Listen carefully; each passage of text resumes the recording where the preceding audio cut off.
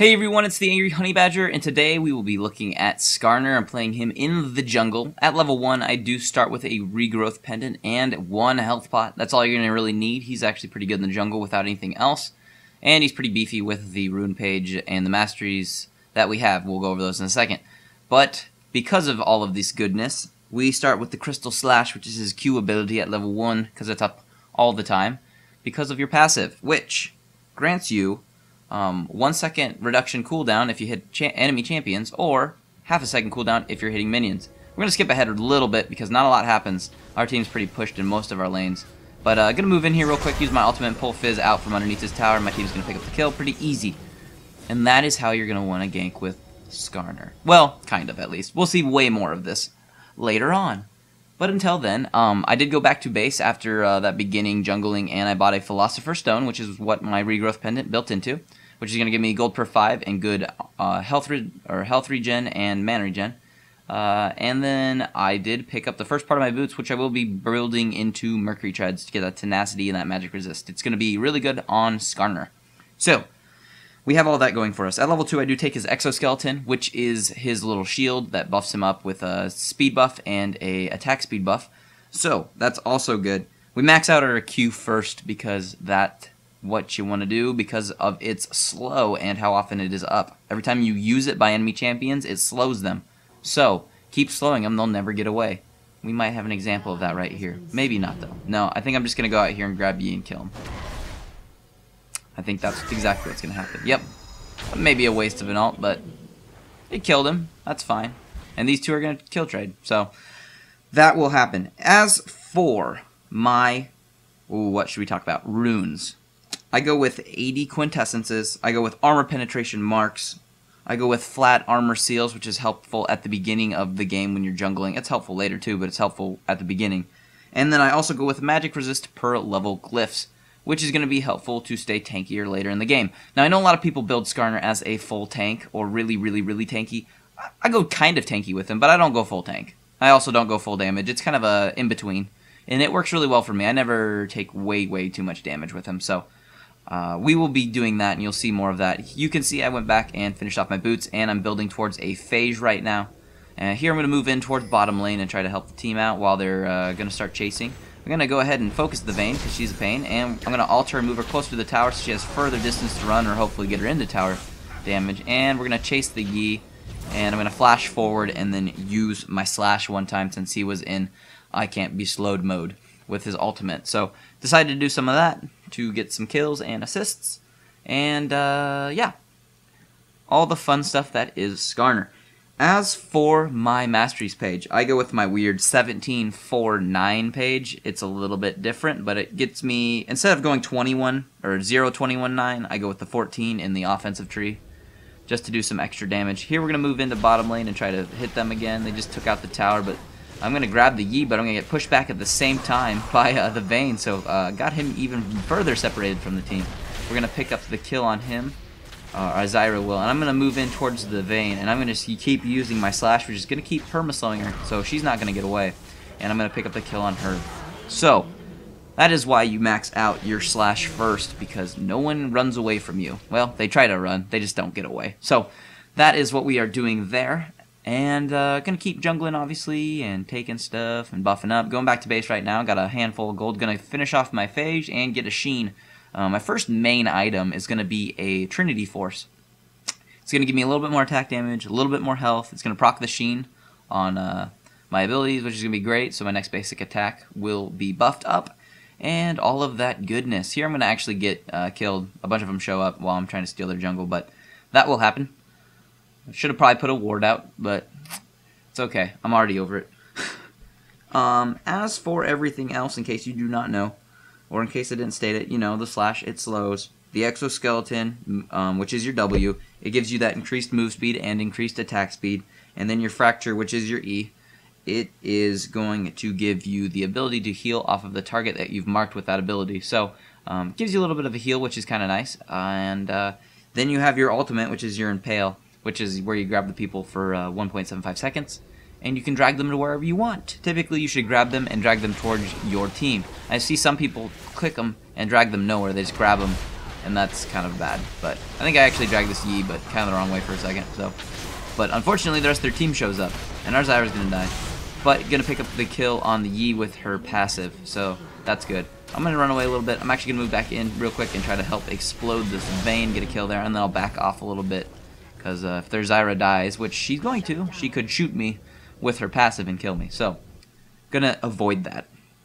But um, we made out okay there for only one of us dying and getting a few more of them. So, not too bad for the rest of our team. I'm going to finish off the Trinity Force there and get that so I'm set up with a little bit extra move speed because of the Zeal as part of it, which is going to help me get to people faster when I'm trying to initiate a fight because I'm going to buff up my exoskeleton and then I'm going to dive in and then try to grab one of their squishier champions with my Impale.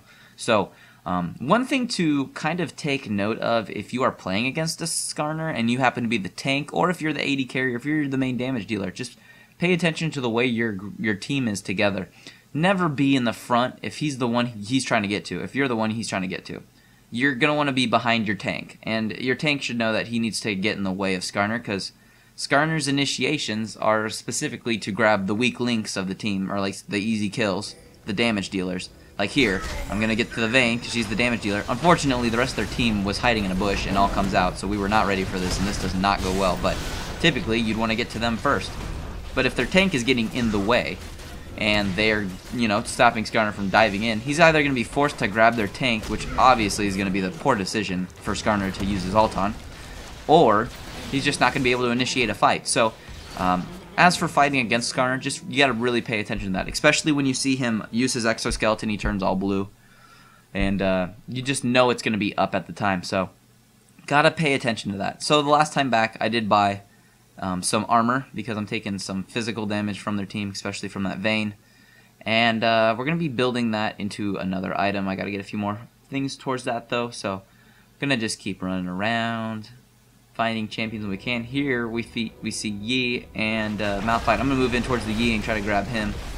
Unfortunately, I finally grabbed him after I flashed to him, but I'm still going to pick up the kill on him. Luckily the rest of our team showed up to kill oh, the Malphite and uh, the Zyra's gonna get away because I get snared, but that's okay. We picked up a couple kills there by uh, hiding out in their jungle, and I think we're actually gonna get back up to the Zyra now and get her killed. She moves back in. Don't know why. That was a mistake. But we're gonna back off here, but unfortunately Fizz is gonna kill what's face on the tower, so because I don't know why he dove. That was kind of a kind of a dumb idea. But that will happen. While you're in the enemy's jungle, don't forget to steal some of their jungle. It's annoying for them and it's helpful for you. But that will happen. Alright, so, gonna go back to base and continue building. Which, we will buy a Giant's Belt. And this Giant's Belt and that armor is gonna go towards a Sunfire Cape. And uh, if you don't want a Sunfire Cape, I want it because of the armor, and then obviously that passive uh, magic damage every second is good as well. But if you do not want the Sunfire Cape, you could go with a Warmogs. It will take longer to build, and you will not have the armor. So, But those two can go hand in hand because we're just trying to build some more life right here. Here I'm getting a fight with Yi. Uh, Zyra's moving in from mid, but not fast enough. so I'm going to have to start backing off since the rest of their team's kind of moving in here. Taric moves in and so does Twitch, but now their Malphite's moving in here. He's going to actually ult me. I'm going to exoskeleton up and run away from him in a second. So I'm actually going to get away. Twitch dies though. Our Zyra gets a kill and our Taric gets a kill, so at least we're kind of trading some kills. But um, this fight kind of goes a little bit awry, which is unfortunate. I think he's going to die under the tower, if I had to guess. No, he's going to get away. I'm just trying to stay in there as slow and best I can. And now she's going to get focused by the tower, and that is going to hurt, especially to that Ignite. So, uh, it's kind of some even trades. But here I'm going to speed the game up. Nothing really happens in between there for a while. I did finish off my Sunfire Cape, and I did go back and get some more Magic Resist, which I will be building towards my next item. Here he's going to grab Fizz, but he's just going to jump away. I would have probably tried to grab him with my ultimate, but here we're going to do this in a second, try to grab this Vayne, but before I even get to her, she's going to explode, so I'm still in my fastest motion. So I'm going to grab their Zyra and pull her out to the team so she cannot get away from us. She knows to just use everything she has. I'm going to pick up the kill on her pretty quick. That is how you grab the weak links of the enemy team. And there she actually tries to try, type the surrender vote, which it's actually a decently even game. I mean, we're pushing their lanes in harder and have more kills, I think, but um, we're just a little more organized, which obviously in League is kind of the main thing. You want to be organized. So we are just to make sure we stay together and we initiate properly. I'm doing most of the initiations, obviously, with my ultimate. It just makes sense. You got to do it because you got to do it. I mean, it makes sense. You're Skarner. Speed yourself up with your exoskeleton, move in with your impale, which is your alt, grab them, pull them out, and then the minute your alt ends, use your slash and start slowing them. I mean, as much as those don't do tons of damage, because your alt doesn't do that much, it, it doesn't matter. Your alt is for more of just the utility of it. So, here we're going to move in and start going for this tower, but we get into another little fight over here, so I'm going to start moving back in over here. Gonna skeleton up when I get into the fight and just get everywhere I can. I'm going to actually flash over to this Vayne real quick and hit her twice with the proct Trinity Force Sheen. I'm just going to, you know, hit her once really, and that's all I'm going to really need to do to kill her. Nothing too tough, obviously. So uh, all that all that goodness happening. Uh, we got a couple of us stuck in base, but uh, they're gonna try to initiate. But um, Hoyt's gonna initiate with his alt to kind of knock him up. I'm gonna grab the Fizz and pull him outside the base. Twitch will pick the kill up there, but die to the Zyra, unfortunately. So, but that will happen. But now I'm actually gonna push this tower. Don't know why I'm gonna go back.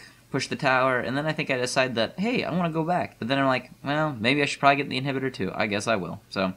Wasn't really too worried about pushing there, honestly, because we're going to win this game. I'm not doubting that at all. I'm going to finish off my magic resist item into my force of nature, which is going to help me with my uh, health regen a lot because of its awesomeness, and it's also going to give me more increased move speed to make me even better at initiating. So, with your exoskeleton, and then the move speed from your force of nature, and then the move speed from your trinity force, you are just fast at getting around and grabbing people. Here they're going to check this bush because they want to go Baron, but we are all waiting in it because we saw them go that direction. Gonna grab her just so she does not go anywhere, and I'm gonna pick up the kill on the Malphite while picking up some assists. So, um, if you go back and watch that fight one more time, watch our team Zyra just murder two of them with two hits. It's kind of funny. Um, so we're gonna start taking Baron. Um, also, when I was back, I'm at that point where I have my four main items, my boots, my Trinity, my Sunfire, and my Force of Nature. Now, obviously, you're going to sell the uh, Philly Stone late game and get something else with that, but now it's to the point where are you having a hard time taking damage and you need to tank up even harder, you can get a Warmogs, or you can get something else depending on what type of damage their team's doing to you. If they're doing tons of attack damage, then maybe get that Thornmail. But uh, because I'm doing fine damage-wise against their team, I'm going to actually start building towards a Hextech Gunblade. It's a little bit of a, it's not a weird choice with him, but you heal off of your standard attacks with the lifesteal and you'll get um, all of the ability power and all the uh, all the spell vamp off from your abilities. So you can actually heal pretty well with it and do some decent damage with it. So I'm actually going to be building that just for some extra damage. Now I'm not going to finish that item because we're coming up towards the end of the game. But uh, that would be the next item I'm doing if I'm doing damage with um, Skarner. But if you're not doing damage and you want more tanky items, obviously um, Banshee's Veil, good choice, Warmogs, Thornmail, just depending on what you're looking for. Or if you want to really get perma slow, even though we already have some slow from the Trinity Force, you could go with a Frozen Mallet. So also Frozen Heart's another really good one too. So really any of those tanky items, if you're going to go tanky, if you're not, then I would suggest going with the Gunblade and then maybe an Atmas. So it kind of comes down to what you want or what you need. So we're going to be doing that, going to pick up a couple little kills there and finish off the game. If you guys have any questions, go ahead and put those in the comments below. Other than that, if you liked the video, I'd appreciate if you liked and subscribed, but I will see all of you in the next build video.